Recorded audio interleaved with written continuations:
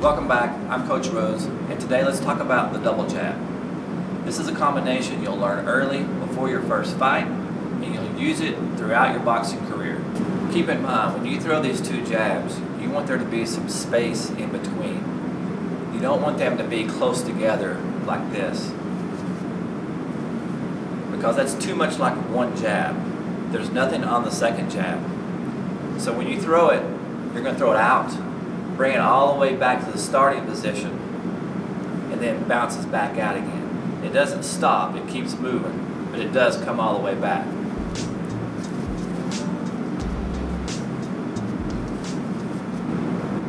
The main reasons I like that space is because when your opponent is blocking your first jab, you're catching him as he brings his hand back to his face. He blocks the first one, and then you catch him right here or if he's slipping your first jab,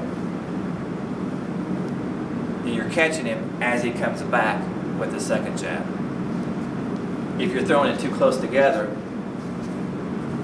it's too much like one jab. So you're less likely to land the second one. When he picks, he's just going to pick both at once. Or when he slips, you're throwing it so fast, he's going to slip both at the same time.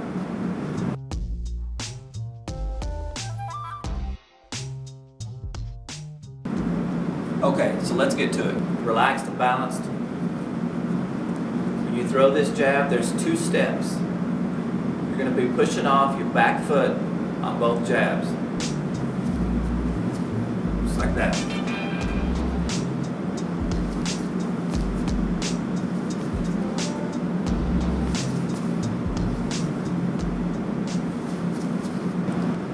The double jab has a lot of value. Just like the jab, the triple jab, double jab, it doesn't matter. The jab helps you control the action, it scores points, and it also sets up other punches.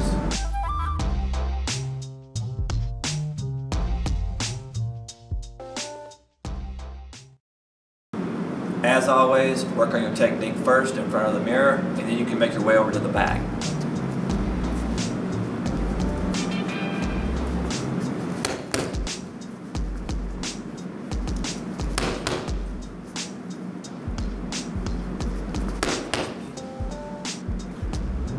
Train hard, and I'll see you next time.